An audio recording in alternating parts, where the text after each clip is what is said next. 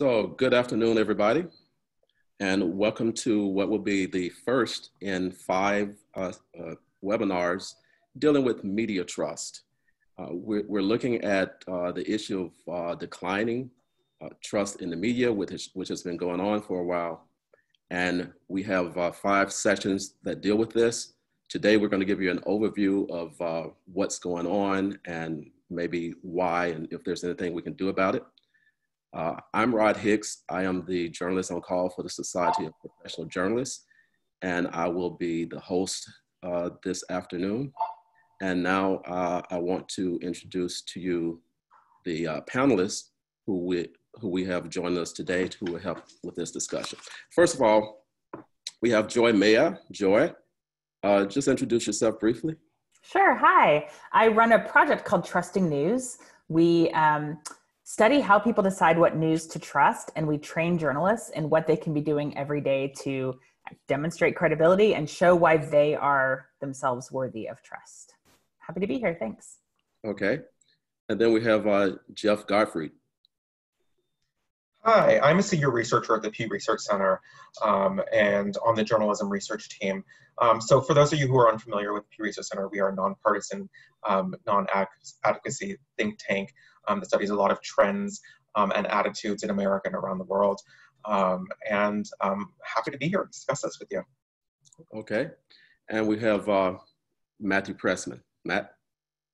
Hi, thanks, Rod, and thanks to all the attendees. I'm an assistant professor of journalism at Seton Hall University in New Jersey, and my research focuses on the history of the American press, particularly the values and practices of major US news organizations. Okay, thank you. Uh, first, um, the the um, we we've known for a while that trust in the press has been declining, and uh, Jeff, I know that you've written a book about this to some extent, but we uh, the public sort of trusted us uh, a good deal. I think most people back in the 1970s, and it's been on a downward trend since then. A little bump um, most recently in 2016 but for the most part, we went from 70 something percent in the 1970s to somewhere in the 40s now, and that's uh, according to a Gallup poll. So, first of all, I want to just throw out to, to you guys why do the why do the press not why do the public not trust the press? At least a, a good share of the public. Joy what what are we doing something wrong?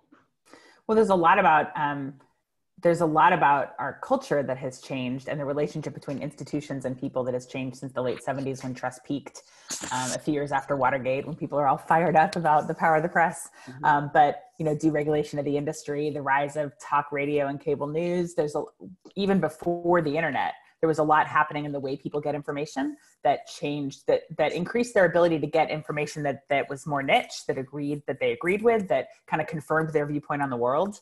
Um, and then the internet uh, you know put the business model of, of journalism at such risk and um, and then you add on the partisan politics layer of you know actual messages coming and saying journalists are the problem and they're the enemy. So it's a whole host of reasons. Right. Now no jeff you've done some research on the partisan aspect of this right what can you what can you uh, tell us about that? So um, First, I want to start off by saying that trust is a very multidimensional. It's a very complicated concept. And so there's a lot that you have to unpack in what you actually talk about when you talk about trust in the news media. And so there are these blunt measures that sort of measure that, but there's also a lot of other things underlying that, which is what we try to do at the Pew Research Center is to look at all these other aspects, whether it's accuracy, whether it's ethics, whether it's um, perceptions of bias or the watchdog role. So there's a lot of things that, that are unpacking in there. And so you have to figure out sort of what does what are the perceptions of each of those different aspects. In terms of the partisanship, um, what we do see is that partisan divides on um, various aspects of trust in the news media are vast and they have widened in the wake of the 2016 presidential election. And so we saw that, yes, there were divides that have been around for a long time, but in the wake of what we saw in the past few years, a lot of these divides that we're seeing are often at historic levels.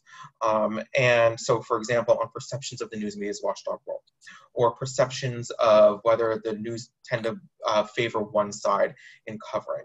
Um, Another part of that is, and I know we're not going to talk too much of this, is that is the role of the president in all of this.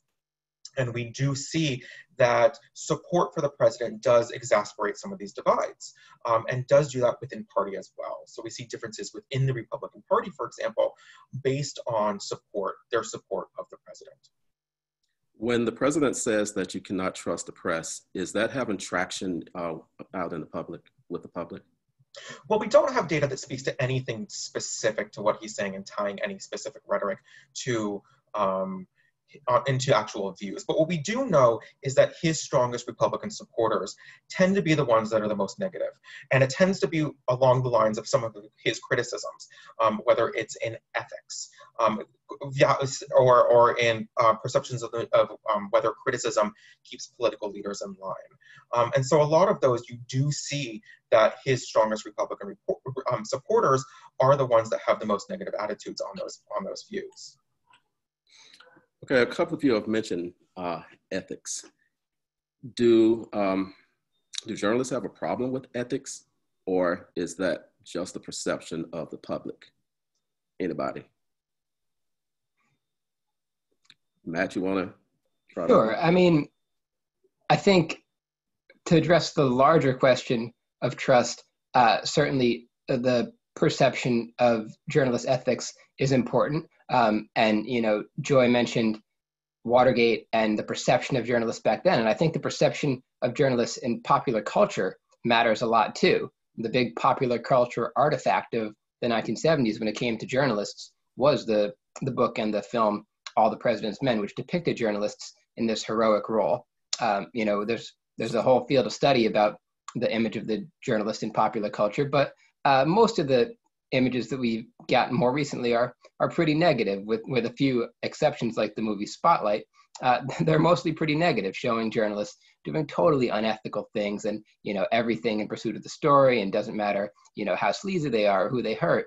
Uh, and I think that's uh, that's a big part of it too, and and also the uh, the tendency to kind of conflate the the media as a whole, you know, the media with whatever one news outlet that a news consumer sees doing something that they uh, disagree with or or find unethical. You know, uh, the tendency to say, "Oh well, because uh, TMZ reported this uh, this celebrity story in a sleazy manner, you know, therefore the media has an ethics problem." Um, and now I'm not saying that there that there aren't ethical lapses all the time, and certainly there have been a lot of uh, high profile screw ups by uh, by prominent news organizations in recent years. Uh, but I think uh, I think that's part of the issue too.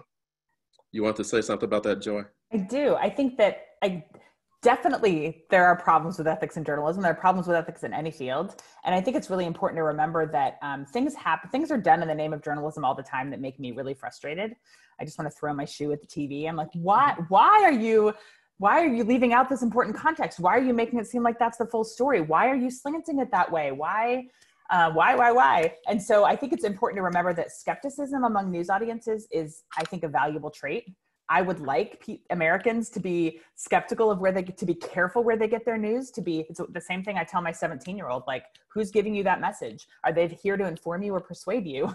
Um, you know, are, are they likely to include information that contradicts their original hypothesis? Like all the things that make journalism responsible definitely are not universal. So I think the important thing is for us to think about what makes our journalism ethical and fair and responsible, not the media.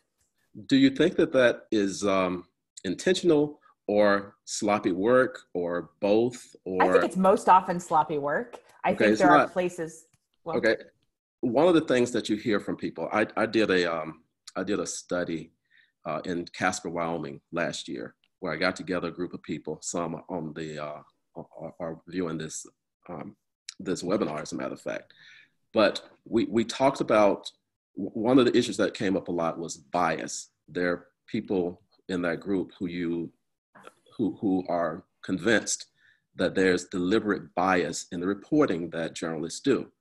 Now, is is is that valid? Is is there some uh, widespread bias that journalists are trying trying to um, insert in their news stories? I mean, I think it's dangerous to have generalizations. I think there absolutely is honest bias. You know, some organizations that say, here's where we're coming from. I think there is dishonest bias where people are purposefully hiding what they're trying to accomplish. I think that does happen. Um, I think there's a lot of, I think journalists learn to set their personal, I mean, everyone has bias, everyone's coming from somewhere. And so I think journalists learn to set that aside and newsrooms I've been lucky enough to work in, we, we do a pretty good job, I think, of holding each other accountable for setting aside that bias and pointing out where we may have left something out or have holes in our coverage. Um, some newsrooms are better at that than others. I, I, worry sometimes that newsrooms don't take as much as much time for that as they should. So I think it's a whole host of answers, but I think the suspicion, I mean, it's it's it's sometimes within good reason. Yeah. Okay. Um, to what extent is um, uh, cable network news playing into into this? If you want to hear um, news that is favorable to the president, you turn on Fox News. If you want to hear news that's not favorable to the president, you turn on MSNBC. And there are other conservative uh, media, radio uh, in particular. So is that adding to the confusion? I mean, why can't I turn on a, station and shop, shop around for the type of news that I want to hear? Matt? I mean, I think you're not among journalism professors, uh, media critics, uh, people working in in online or print legacy newsrooms, you're probably not going to find a lot of staunch defenders of cable news. Um, I think uh, I think that my personal view is it's definitely not a, a good or healthy place to uh, to get one's news. Although of course there are exceptions and there are quality prog- uh, programs on cable news. But uh, I think that it, it, gets back to the the point you were making a moment ago about bias. Uh, so certainly there uh, there is all, almost always going to be a perception of bias on any controversial story. You know, bias can be in the eye of the beholder a lot of times, uh, and it's going to be pretty hard to write a story about a controversial topic that won't get a news outlet accused of bias by someone or other. Someone's always going to have a problem with it. Um, you know, I've heard this from lots of the journalists I talked to, you know, writing even about some foreign affairs issue, Israel Palestine, you'll always be accused of bias no matter what you do, essentially. Um, but I think there's certainly a, a stronger narrative of a, of a liberal bias in the press, and it's, it's not new. It's certainly not something that, uh, that Donald Trump came up with. Um, it was new in the 1960s. Before that, everybody thought the press had a conservative bias, and there was some justification to that.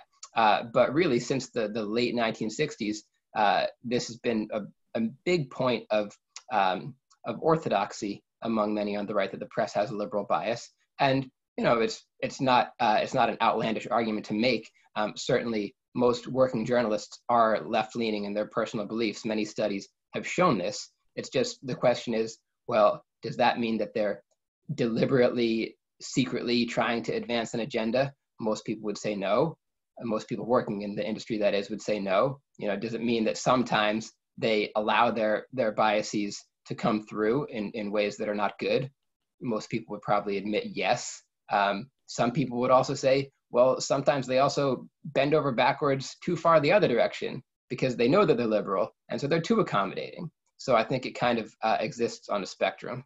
But but but think about this. You said that you don't necessarily think that Fox and MSNBC or, or, or cable news, I think you said, is uh, a, the uh, best place to go for news. But many people do. In fact, Fox has been number one for consistently for years. And so when people go to Fox or they go to MSNBC, um, this is their um, perception of what news is, wouldn't you say? And so how do you, I mean, it is admitted bias, is, I guess is my point. You know, they make, you know, they, they make it clear. So that to me seems to be uh, something that's confusing to people. And how do you get people to understand the difference? Why don't you tell, we have students here who are going to be um, starting their careers in journalists.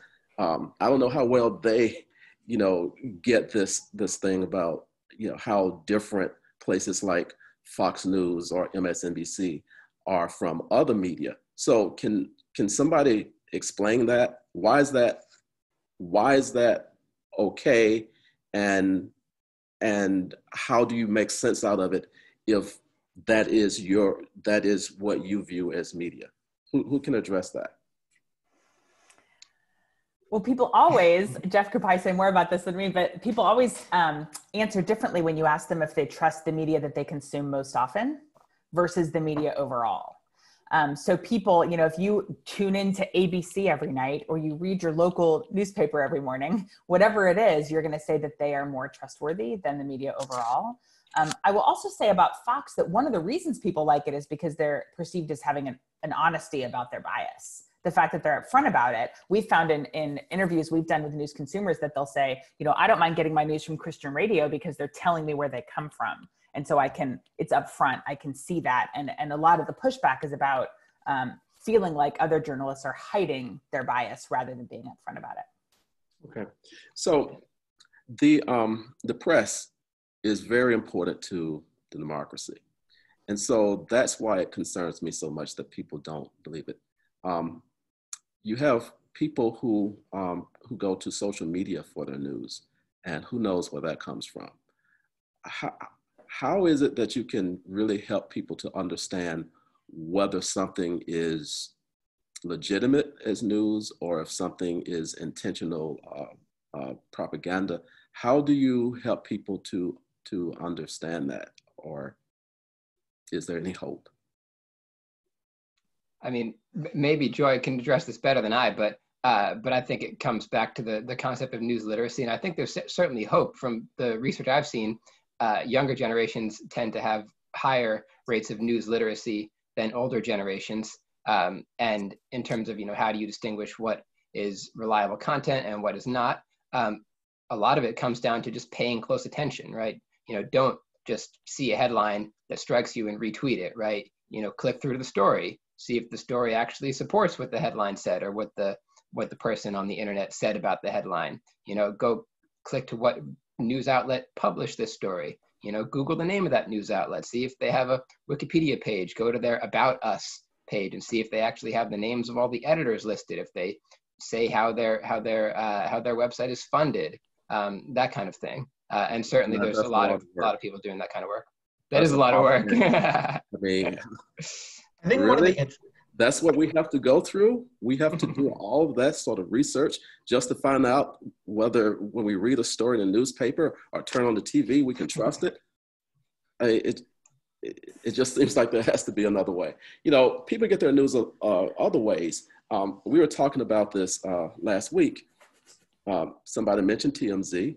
Um, John Oliver, is that news? Last week tonight, is that news? Trevor Noah, I mean, do people go to uh, those places as news, and is that bad? Jeff, you have yeah. Well, one thing I just want to pick up on from the social media discussion is the role of brand in all of this on social media. Mm-hmm. And so we have a lot of people tell us all the time that brand is important into them being able to understand whether they trust something or not. As Joy, you were saying, people trust things that they are, that they trust the sources that they go to more than they're going to trust other sources, which completely makes sense. But then when you start to figure out if they actually remember the, the, the, the news brand, the news organization of a, a piece of news that they get digitally, you start to see a little bit of a different dynamic going on. And what we did in, in a certain study is we asked people, do you even remember the piece, the, the brand of a piece of news that you got in the past two hours? Um, and about a good amount of time they could tell us that. But when you start to look at social media, it was lower. And so we got to understand the question of where does how do some of these cues that people are using to understand whether something is trustworthy or not play out, and how does it play out differently in these different venues?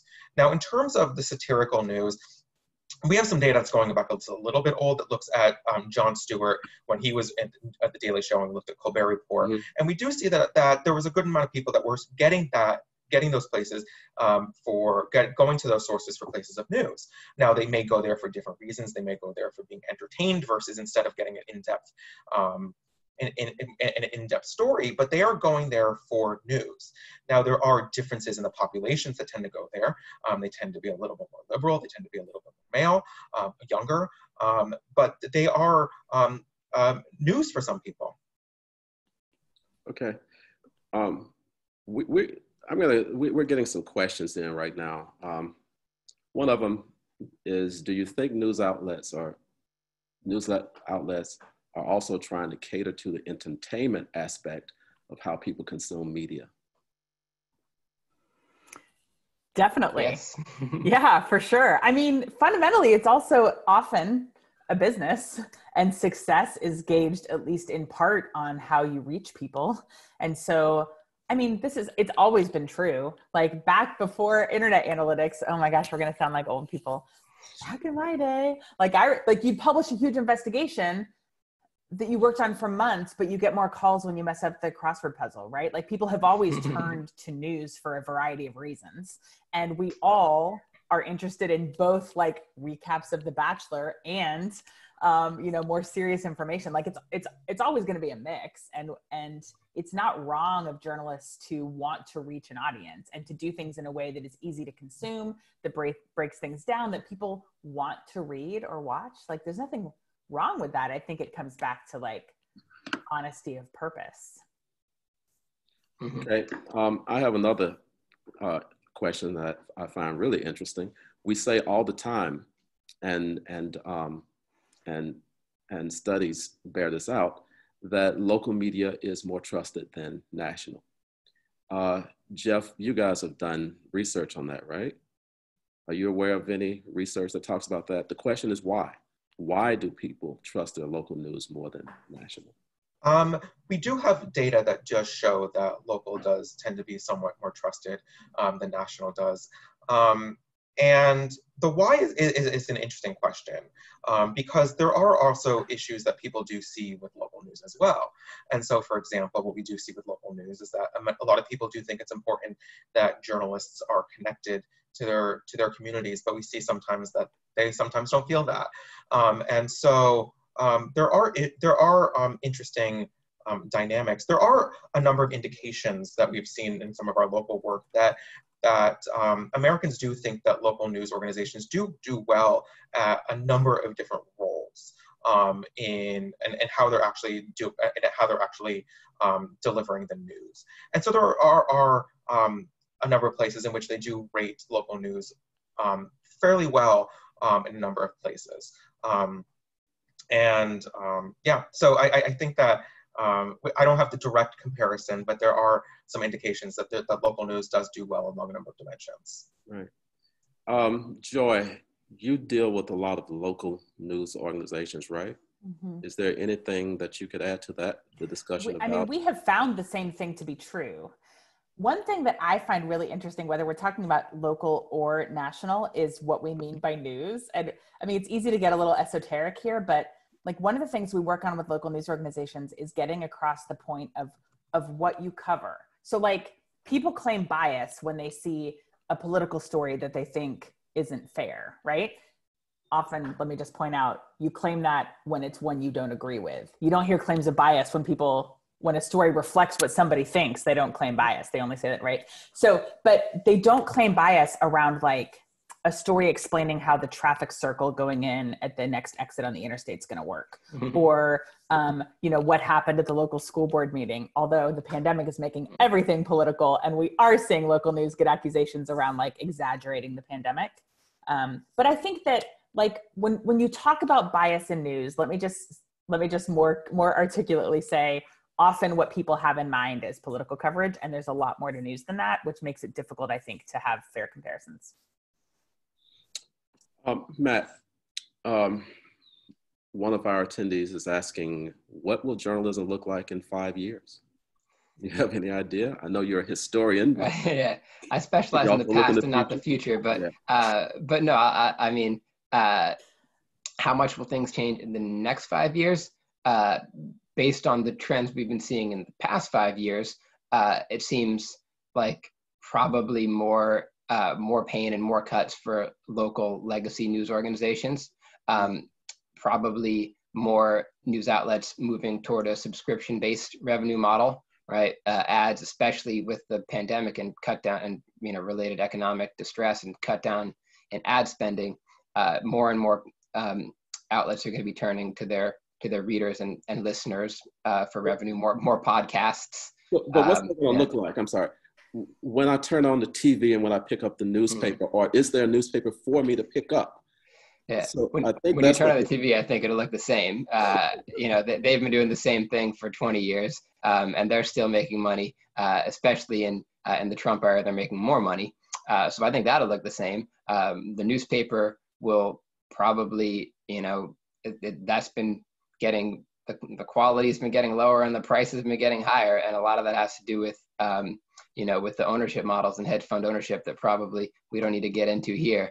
Um, but I think one hopeful possibility is that you see more kind of shoestring startup operations. You know, like when the local newspaper gets gutted, you know, some the former journalists get together and form a high quality online venture. I mean, I think just today I saw the former um, the former staff of uh, of Deadspin, the the sports and commentary website, are starting a new venture, sort of cooperative venture, uh, um, where they have, um, you know, they're going to have ownership stakes and and uh, and editorial control. Um, so I do think we'll see more more stuff like that on the positive side of the ledger. One of the interesting things, if I can just jump in there, sure. is that with a lot of this discussion around finances is that the public seems to be quite unaware of the finances mm-hmm. of um, news organizations. And so when we were going back to some of the local news stuff that we did, we saw like a vast majority of Americans saying that the new that local news organizations are doing fairly well in their finances, right. um, which is a little bit different than what we may expect. Um, additionally, we asked a question um, recently about what the impact of the of the pandemic was on local news organizations, and a third of people flat out told us, "I have no clue." And so we see there that there may be a disconnect with what's actually going with the finances of the industry and what the perceptions in the public actually is. I do like um, your, your answer, um, Matt, about um, how journalists in local areas are coming together uh, when a, like a newspaper goes out of business and form a high quality uh, online um, product because you do see that happening on a national level. And I wondered if that's the future of uh, journalism, um, that it would be online and that it would be uh, funded by a nonprofit where, you know, there are no shareholders. Is that, you know, that, that sounds, yeah. I guess, yeah. Kind of hopeful. Yeah. And I mean, you know, we've, seen, we've, you know, there, there are large uh, metropolitan news outlets that have already moved to a nonprofit footing. You know, the um, the Salt Lake Tribune is one. Um, the the Philadelphia Inquirer is now owned by a nonprofit. Um, but uh, but yeah, I think we're definitely seeing the the decline of local ad supported media um, with that traditional business model that that reigned for such a long time. And there's there's pluses and minuses to that. You know, obviously yeah. the minus of the subscription model is that well, you know, is only available to people who are, who are willing to pay. So a lot of it is going to be behind a paywall. But then again, it's still a lot cheaper than a print newspaper was back in the day to subscribe to online sites like this. So, uh, so maybe it's not the end of the world. Well, here's my here's here's my fear that there will be a lot of people who will not want to pay um, because a lot of people feel like if it's online, why should I have to pay for it? You know, I already pay for my uh, internet service. But my my fear is that people will say, no, I'm not going to pay for it because I can find it for free elsewhere. And that's where we get into trouble because they go they turn to Twitter, they turn to Facebook, and who knows the origins of, of this news. So, you know, I guess I'm a little hopeful, but then thinking about human human behavior, it, it draw it draws me back to being concerned again. Your I really think that as newsrooms, um, I mean, we're so strapped for staff, and as Matt alluded to, likely to, that's like that situation is likely to just get worse. I think we're going to have to be much more ruthless about what we cover and not do a lot of the stuff that people can mm. get for free. Like if there's another news outlet or you know if you're a newspaper and a TV station in town is really good at like traffic updates and accident reports, just cede the territory. Like just and and you invest more time in what you do that other people don't do. I think I get really excited to work with mm. niche organizations and startups and people who know exactly what role they serve. I think the people who are really suffering are the organizations that try to be everything to everybody for a metro area. Um, and I think you have to be able to make a really honest, persuadable case that what you're doing is worth paying for because it's unique, and those that's going to lead to some I think there's some hard conversations that need to happen in newsrooms around what you could stop doing. Given that this uh, this session is targeted to students, um, what is it that you feel that um, students need to know? They're about to get out there and face the real world and and try to do journalism. Is there anything that um, they need to know that we can tell them or that you guys can tell them? Joy, you you talk to news organizations all the time. Yeah, man, right? I have I have yeah, definitely. I think that if um I mean, my first goal is for journalists to feel a sense of responsibility about earning trust, not assuming that it's automatic, but that it's up to them to demonstrate why they're worthy of trust. So, man, my wish for all the folks watching today is that when you go onto job interviews, ask questions like that. Like, how do you guys work to be fair and to be worthy of your community's trust? If your community asks you questions about how you decide what to cover, about your ethics, like how can they learn about you? Search around on that news organization's website. Do they have an about page that, as Matt was saying, like says who they're funded by and what their mission is and who their staff is? Can you contact them? Like, try to work places that share um, that have a sensibility around being accessible and about being um, accountable to their community in a real way. Okay. Anybody else? Yeah. I mean, I uh, I might add to this, and I, I hope that, uh, that journalism students will get this as part of their education too. But uh, just the importance of of talking to people, listening to people, taking their views seriously, uh, representing that. Make sure you're representing their views as uh, as clearly and fairly as possible. You know, don't be uh, hesitant to ask people to repeat something if you don't know what they said. You know, people will be will be happy to clarify what they said rather than run the risk of having it uh, misinterpreted, um, and just to come into everything with uh, with an open mind. Um, you know, be open to hearing people, their ideas, um, and spell their names right. Double check, na- double check name spellings. Anything that you could add uh, to that, Jeff? I know that you're a data guy. Yes, I am a data guy, and we at the Pew Research Center don't provide recommendations or anything. But what I can say is um, that um, there are a lot of part there are a lot of dynamics that are in the in the in the U.S. about perceptions and um, around views of the institution, um, and I think it, it's really important to be really well read up on what those are, what the what the what the public actually thinks, um, where those divides exist, where they are not just politically, but where they are in other um, populations, and what are the priorities um, of certain groups, and what are the what are the feelings, and and, and and how they view journalism. I think that's really important to be really read up on not just those partisan divides, but where there are, are other rifts in the country as well. Um, one of the attendees is, uh, has written a question about uh, the consolidation of media companies and are we going to get to the point that there's, you know, just a few big companies controlling um, the news that we get. Um, you know, I, I, hope that that doesn't happen, or at least it's far, far away.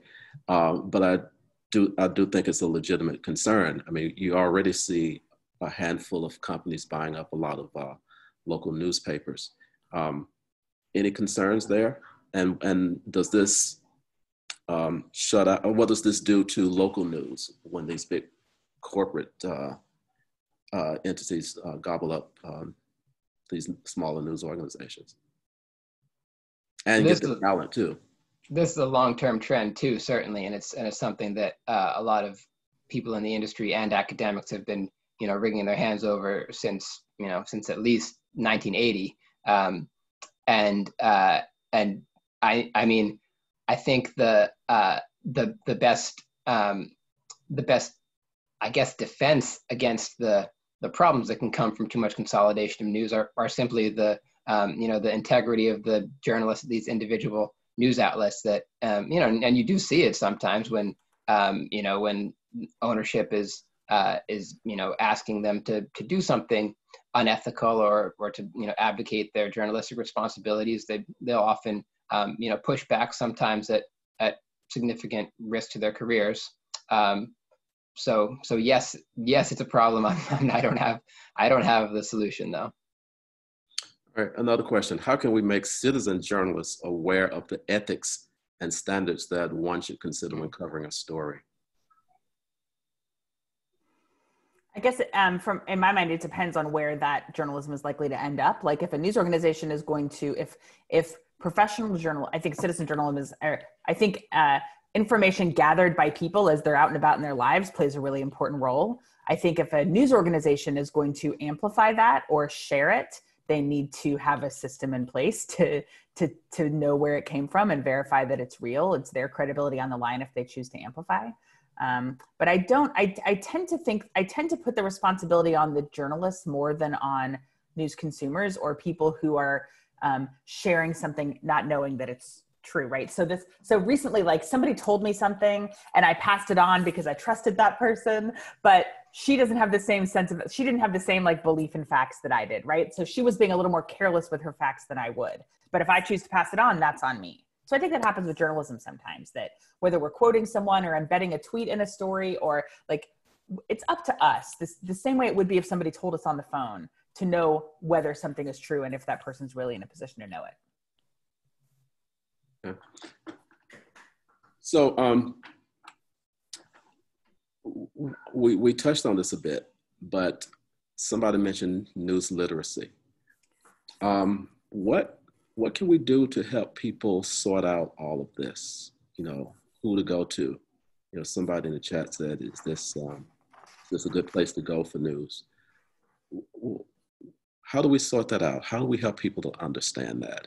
And as somebody who is um, who is about to start a journalism career, how do you pick the places that you want to go that you feel match your own standards? Any advice? There are basic journalism principles that are true for most of us and certainly true for everywhere I've worked that are not universal and not taken for granted by news consumers. So, um, do we pay our sources for their time or do they pay us to be included? Um, do we purposefully suppress some stories and highlight other stories? Do we, um, you know, do we, uh, when we quote an anonymous source, do we know who that person is or are they anonymous to us, which some people think? Um, you know, do this, do the same people write, what is the difference between news and opinion content? Basic tenets of journalism that we can no longer assume that our audience understands and we don't do enough to educate them about that. So a lot of Trusting News, I'll stick a link to our newsletter in there because the archive has a ton of just really quick tips for journalists. Um, but what we're trying to teach journalists to do is to embed the sort of transparency around that into the work. So in your newsletter, um, say, I don't know if we have any USC folks on, in the house, but uh, we did an experiment with their with Annenberg Student Media in their newsletter. Um, you know, say here's why we did this story, or here's a decision we made when doing this story. Here's how we work to be fair in this story. Here's how we report on polls, and you so that you know if we include a poll in our story, here's how we're sure that it's valid. Here's why you can trust Pew. Like just embedding that sort of literacy, um, not a separate course, not a separate page that explains how journalism works. That stuff could be really nice, but take advantage of attention where you have it, and in your stories or in your comment sections. Um, answer questions and be ready to explain what rules you follow and what makes your work credible. I would love, I really want to harp on comments for just a second, if you don't mind, Rod, because I think that um, a lot of times we let our detractors have the last word about our work. If we are not present in comment sections saying, oh, actually, let me explain to you that that's not true, or you might have missed in the story this, or here's why our ethics would prevent us from doing that, and here's where you can read more about our ethics. We miss the chance when we don't engage in comments to defend our work. Um, and remember that when you an- take time to answer comments, you're not just answering the rude person who left the hateful comment, you're answering everybody else who's reading who might have the same question but better intentions. Right. I, I, do want to point out that you mentioned anonymous sources and you uh, and the distinction between news and opinion. I just want to point out that those are future topics uh, in this webinar uh, series. So thanks. Um, Can I touch upon one thing that Joy you mentioned? Just to touch upon the fact opinion divide is that um, don't take for granted that audiences will know the difference between the two. Um, and um, we did a study a couple years back that actually just flat out asked people 10 statements and said, hey, tell me if this is a fact, a factual statement, tell me if this is an opinion statement. And what you see is that um, there were five factual statements, five opinion statements. And what you saw is that, yes, most people can get most of them right, but that's three out of five. Um, very few people can get all five factual statements right, all five opinion statements right. And there are various reasons why people aren't getting them right, but don't take for granted that people will be able to understand what the distinction is between when you write something up, what a factual statement is, and what an opinion statement. Okay. All right. Um, so another question here is um, considering that the biggest economic crisis is just beginning, uh, by making people pay for something that's not essential, you know, basically what we do, um, uh, such as food and water and utilities, healthcare, doesn't that mean that the most vulnerable groups are just going to be left behind? That's...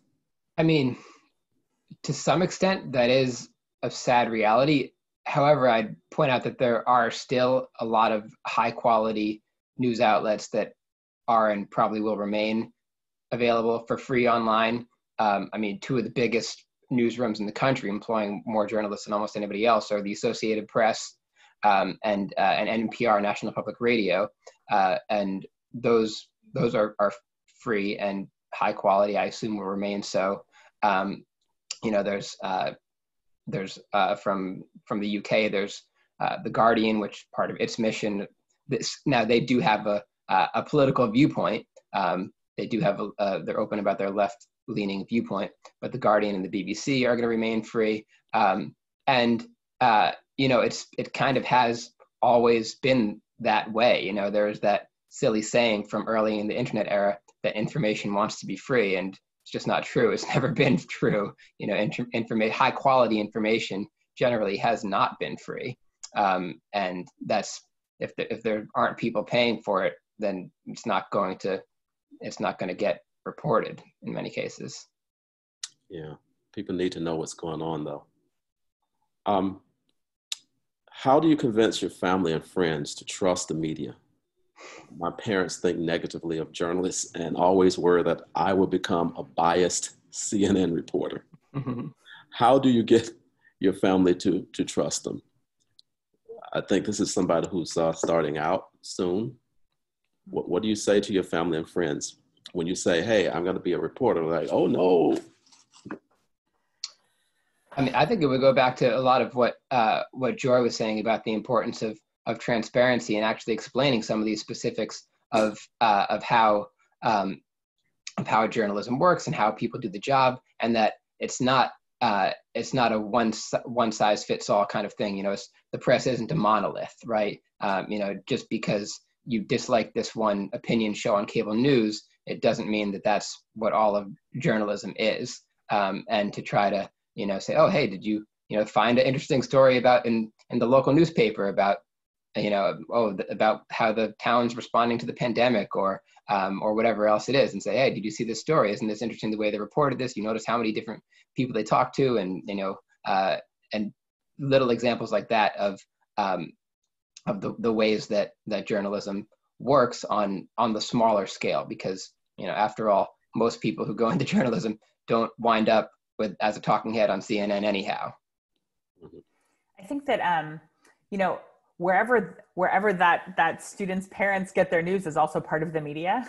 So i think mm-hmm. that that can mm-hmm. often be a powerful way to start the conversation and say like how do you decide what to trust? Um, and what are you looking for?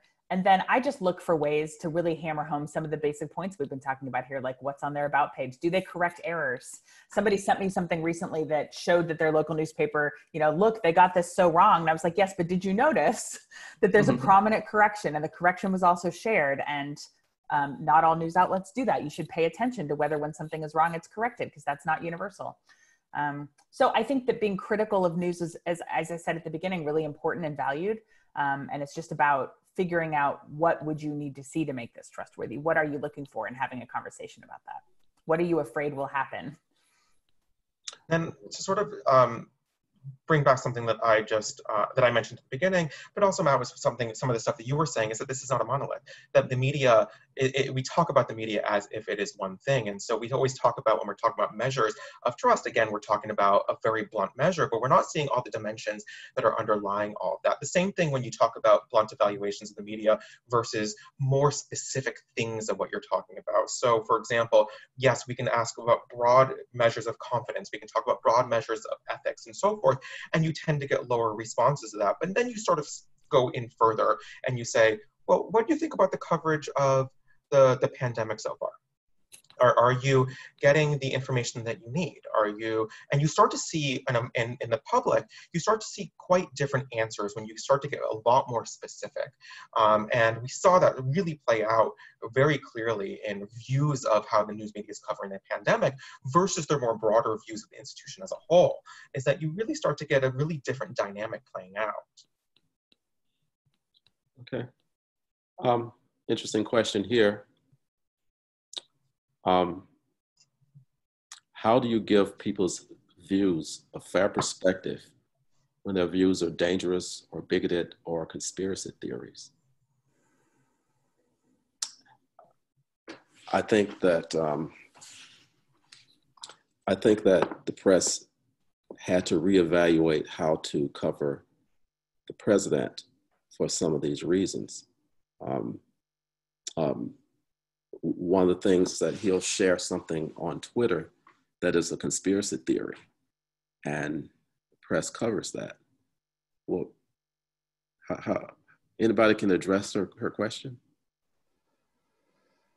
I mean, different people will have different answers to that, and I think it's uh, it's a matter of opinion in some measure uh, how news outlets should uh, should respond. But they news outlets do need to be mindful of their power to to amplify views, right? And and they need to be selective in uh, in which views they amplify. Um, so I mean, there's different approaches that that some people would advise. Some would say, uh, you know, if they're espousing a hateful or uh, or dangerous idea, you know, they should that that shouldn't be included at all. Others might say, well, you should include it, but you should also include an explainer about why this is, uh, you know, why this is inaccurate or offensive. Um, others will say, you know, just put it out there in, in the light, and you know, sunlight is the best disinfectant. Is the uh, is the cliche, um, and you know, let people see for themselves how um, how abhorrent it is, and they'll they'll realize. Um, so uh, so again, I don't I don't know that there's uh, a one size fits all approach, but it's definitely important for journalists to be aware, at least, of of uh, of the power that they have to to amplify um, people's voices, you know, for, for better and for worse. Does um, everybody deserve to have a voice? Everybody does on social media already. everyone deserves to, I mean, everyone can find their own platform, but in terms of whose voices journalists choose to amplify, that's always been a matter of judgment. Um, who has something to say that we think the community needs to hear?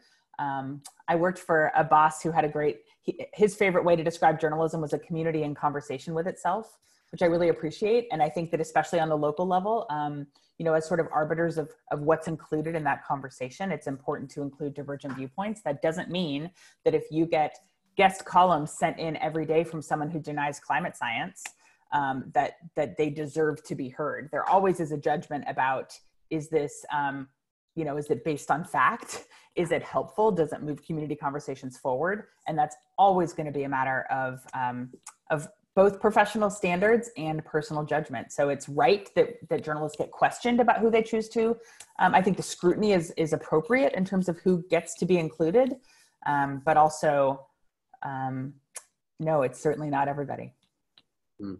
well i think that that could lead to people saying that there's the press going again, showing their bias, you know, because there are people who don't believe in climate change. And uh, to say, well, we're going to exclude you because it is a fact. Mm-hmm. Yeah. Sure. I mean, there are also people who believe in white supremacy, and that doesn't mean that they um, deserve to have their voices heard that they that i think there are ways to do responsible journalism around fringe groups and around things that are a danger to society and things that are harmful i think they um, th- those need to be handled very carefully um, but you know there, there are protest groups that will show up just to get attention and that doesn't mean that every local journalist needs to show up and give them attention right i think it's it's always a judgment about what is appropriate and what is good for the health of the community. And it's absolutely fair to say, to question whether journal that's a lot of responsibility for journalists to have. We should acknowledge that and we shouldn't take it seriously. I mean, we should take it seriously and we should be transparent about it with our audience. Here's how we decide what to cover. That is the number one mm. thing we see in questions to newsrooms and when we interview news consumers about what they want to know. How do you decide what to cover? And you know what? We often don't have a good answer. There's no algorithm or rubric too often it's like well someone called in sick or this editor drove past something on their way to work and thought we should write a story about it. Like we're not we're not transparent enough and consistent enough in that and we need to talk a lot more about what makes something news. When we choose not to cover something we've worked with newsrooms who have said here's why we don't report on every threat of this variety. Because it can cause copycats because it alarms people unnecessarily. Here's when we will cover it. We need to be consistent about that and then talk about why we do it and then also to just to jump off of that as well, when you decide to cover something, the question is, and and it may be something that is inaccurate, that the public does put a lot of weight on the press to then play that fact-checking role. And so there is a vast majority of Americans do say it is a responsibility of, a, of the press that when they do cover an inaccuracy to actually then be doing that fact checking as well. I guess that the thing that I'm, I'm, some people might be thinking, uh, Joy, um, when you used white supremacy as an example of, you know, voices that we don't necessarily have to cover, uh, then that raises the question: Where do we draw draw the line? Um, people might think that everything that um, Joe Biden says is good for the nation, so we're going to mute all the other voices. You know, it's you know, and if a white supremacy group is going to have um, a protest or some big march, how do you cover that? I assume that you do cover it, right? You have to cover, you know, you know, 500 people get together and, and march through the city. I mean, you. Man, you have 500 white supremacists in your city. I sure hope you're covering it beyond live coverage, right? Like, I hope that's an issue you're addressing, and I hope you're putting some context around that and being super thoughtful in how you cover it beyond just here are pictures of the white supremacists and beyond just dictating what they say right. to you. Right. Th- that's the point that I'm trying to make. The word that you said, context, that's what's really important. It's not, it's not good enough to just say this happened. You need to talk about what it means, the possible impact, the history of it, um, and, and, how does it reflect on your community. Those are things that people want to. So it, it is it, it is a way to do it, and, and you have to um, you have to provide context. Uh, we've had some really good questions. Um, um, we have we're almost out of time though. Um, just want to see before we before we end. Just want to give you guys a chance to to say anything that hasn't come up naturally in our discussion here. I'll start off with you, uh, Jeff. Is there anything that that you've wanted to say but uh, I've ignored you and not let you say it? Um, I actually want to talk about a, uh, taking off something that I sort of alluded to earlier is that mm-hmm. differences in populations in um, what they expect or what they view of the news media. And I want to speak to something that we recently sort of looked at was in, and, and this would be particularly important in, in people who are rising up in the field, is the feeling of whether people are understood or misunderstood by the news media.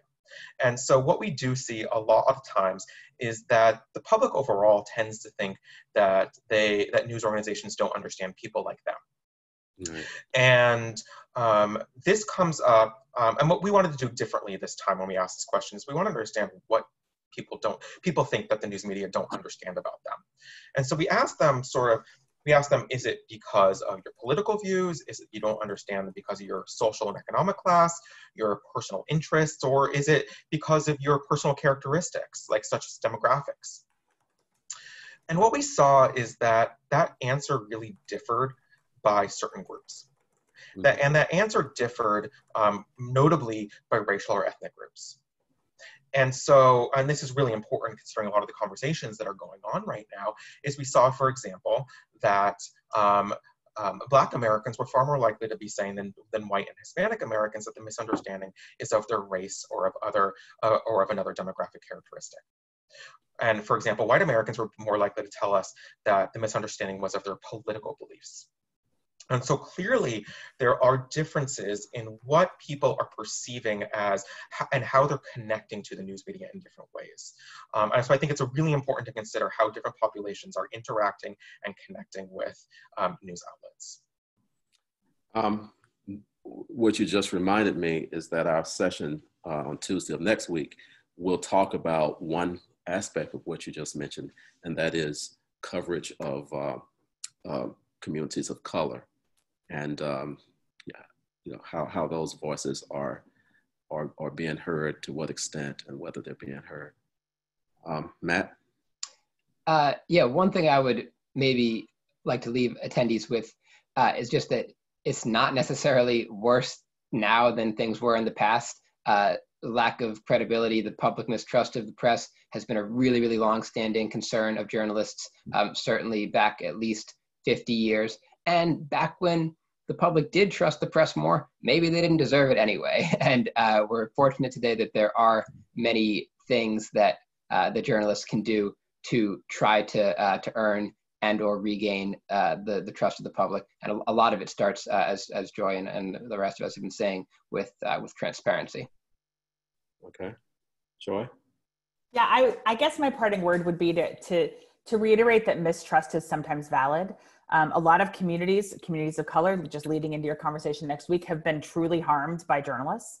Um, journalists get things wrong all the time. As you enter a newsroom, not only do you need to understand how people feel about your newsroom right now, you need to understand why people feel that way and what maybe historical baggage you're unfortunately walking into and therefore held responsible for. When you show up at a business to do a story about their um, you know their remodel they might still be mad that somebody misstated their the hours they were open when they opened 10 years ago and you know said they were open on a day they weren't and all these angry customers showed up right? So um, you know it's it's you can that doesn't mean that it's your fault. It does mean that being uh, just the reminder of the huge immense power you have that newsrooms have in communities and that when people are skeptical that's valid and when they are mad they might have a very good reason for that and so do come in with some humility um, and with a real desire to earn their trust. Very well said. Okay well i really want to thank you uh, jeff joy and and matt. I think it was a good discussion. I hope that the students who are listening to us got something out of this. Um, there were a few questions that we weren't able to get to. Um, feel free to uh, send me an email and we can, um, we can have some discussions about anything that, that, that didn't come up um, that we didn't get, get a chance to talk about here. I do want to again uh, remind everybody that we will be here next Tuesday. That is August 4th, but the time is going to be different. It'll be 2 to 3 Eastern Time. and we have some really good, uh, interesting guests. Not as good as these guests, but it's good. It's a good panel assembled. So thank you guys, and thank everybody who um, joined us today. Thanks. Thank you.